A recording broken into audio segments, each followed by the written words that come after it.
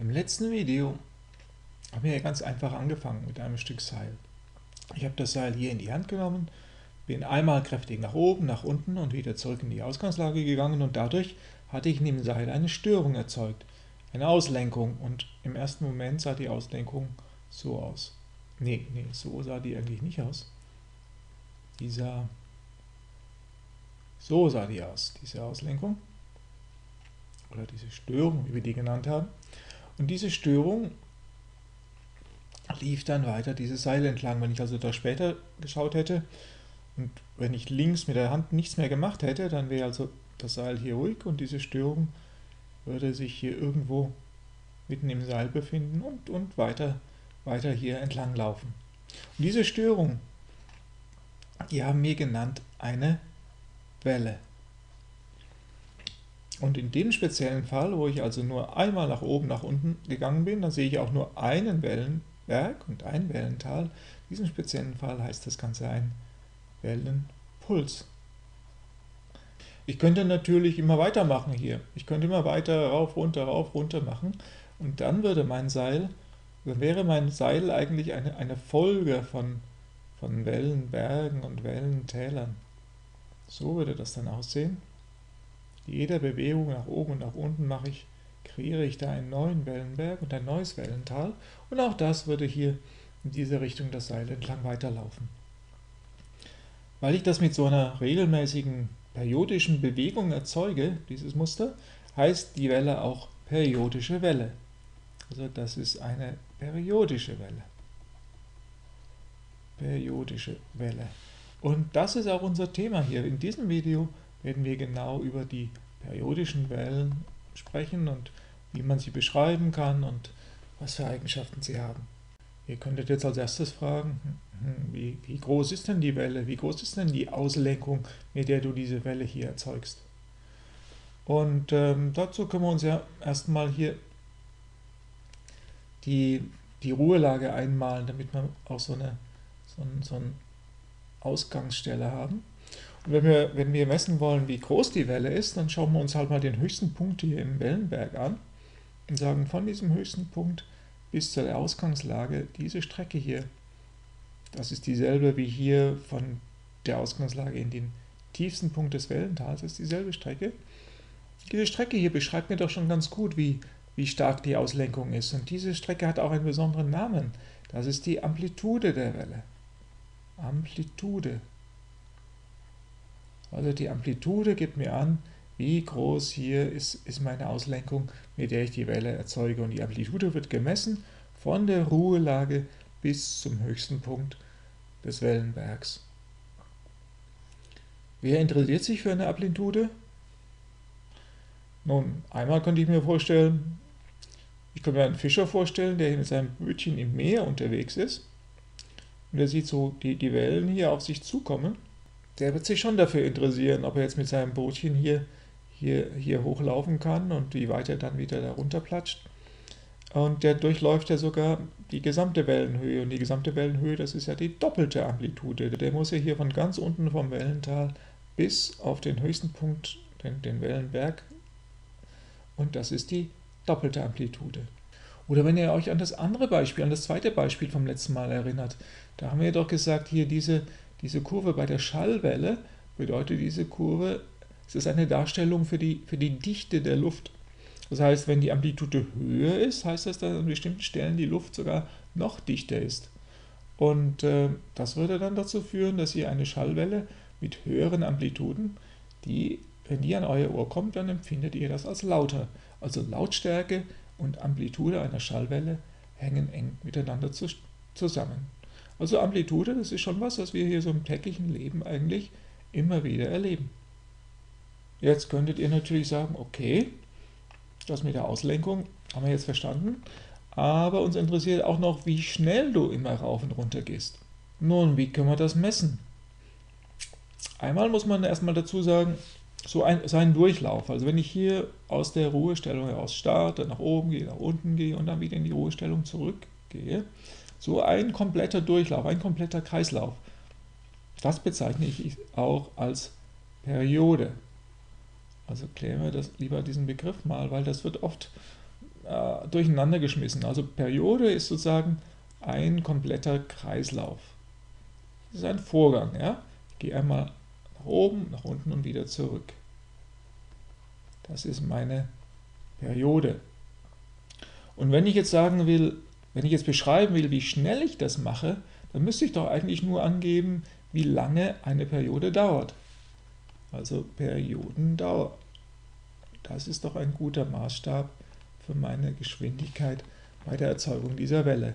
Und die Periodendauer, die wird immer mit dem Buchstaben t abgekürzt.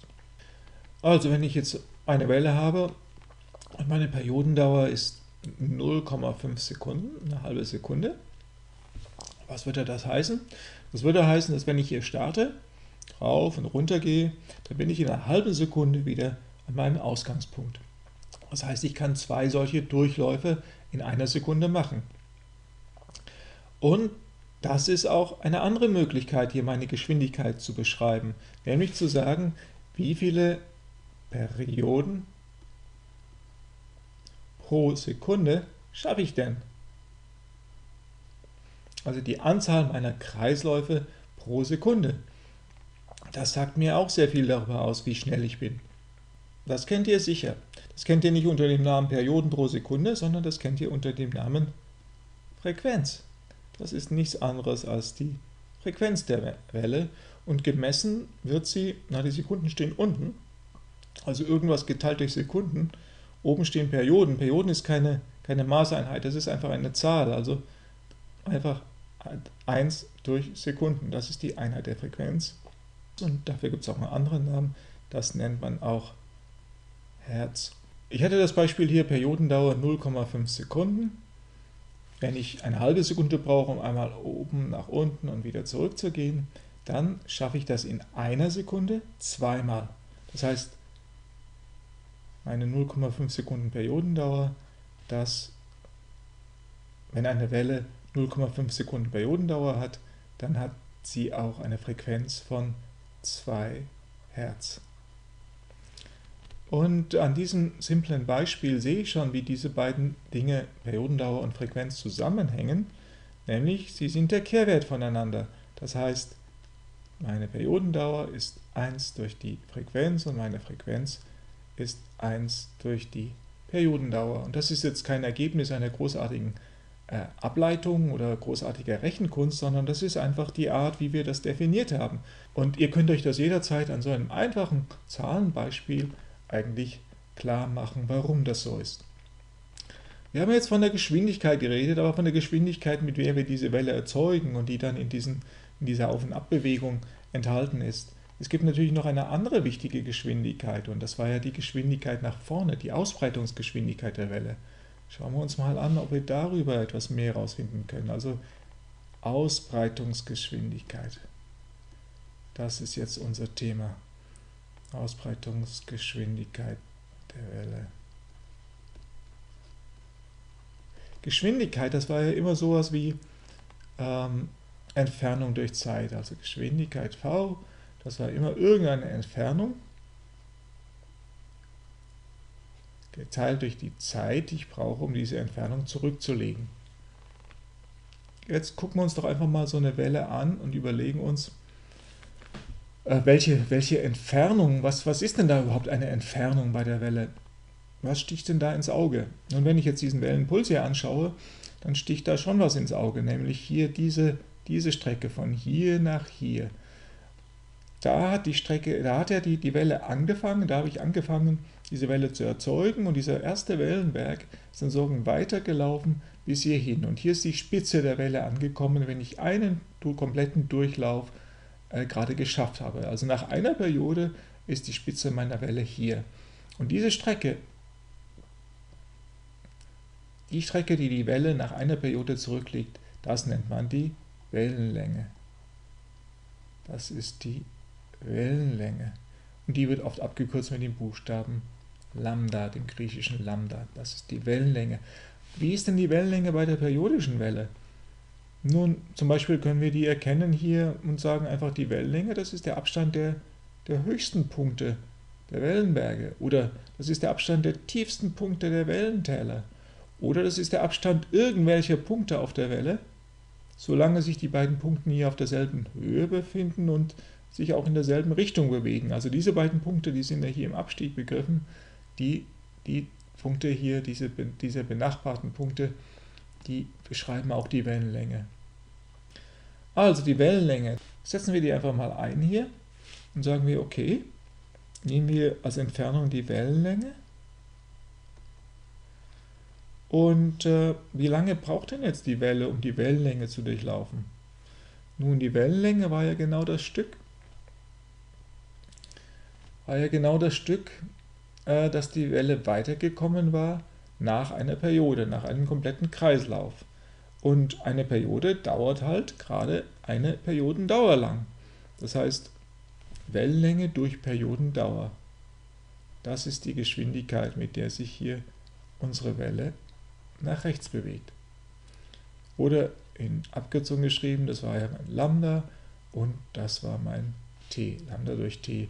Und v, das kann ich dann auch so schreiben, ist natürlich Lambda mal 1 durch t. Und 1 durch t, was steht ja hier, das ist die Frequenz. Das heißt, es ist gleich Lambda mal der Frequenz. Vielleicht probieren wir das einfach mal aus an einem Beispiel. Ich nehme mal eine Welle her und sage, ich, ich kenne die Geschwindigkeit der Welle. Eine Geschwindigkeit, das soll sein 320 Meter pro Sekunde. Dann sage ich, ich kenne die Frequenz. Die Frequenz soll sein 20 Hertz Erinnern wir uns, Frequenz 20 Hertz, was bedeutet das nochmal? Das bedeutet, wenn ich, wenn ich mal diese, diese periodische Welle hier, wenn ich die nur durch ein winziges Fensterchen anschauen würde, wenn ich nur hier diesen Ausschnitt der Welle sehen könnte, und dann sehe ich hier diesen, diesen Punkt auf der Welle, wenn, die, wenn ich jetzt eine 20 Hertz, eine Welle hat, die hier mit einer Frequenz von 20 Hertz läuft, dann würde ich in einer Sekunde diesen Punkt 20 Mal ganz runter und ganz rauf sausen sehen. Das heißt, 20 Mal richtig zackig würde das hin und her gehen innerhalb einer Sekunde. Das heißt, die Welle hat die Frequenz von 20 Hertz. Das sind also meine, meine 20 Hertz. Und was ich wissen will hier, ist meine Wellenlänge. Wenn ich hier diese Formel einfach mal abschreibe, also v ist gleich Lambda mal f, einfach abgeschrieben. Ich, das v ist gegeben, die Frequenz ist gegeben, nach dem Lambda ist gefragt.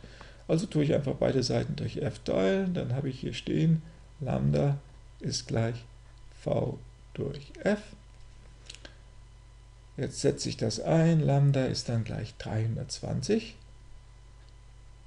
Meter pro Sekunde durch, meine Frequenz waren die 20 Hertz, also Gut, die Hertz, äh, das, die, die nehme ich jetzt nicht hier. Ich nehme lieber hier diese 1 durch Sekunde. 320 durch 20, das ergibt sich, das ergibt 16. Und die Meter pro Sekunde geteilt durch die 1 durch Sekunde, da kürzen sich die Sekunden nämlich weg und ich habe nur die, die Meter übrig. Also 16 Meter, das ist meine Wellenlänge. Was, was ist denn das überhaupt für eine Welle? Wovon reden wir denn da? Nun, schauen wir uns die Geschwindigkeit an. Das kommt uns doch irgendwie bekannt vor. Knapp über 1000 Kilometer pro Stunde.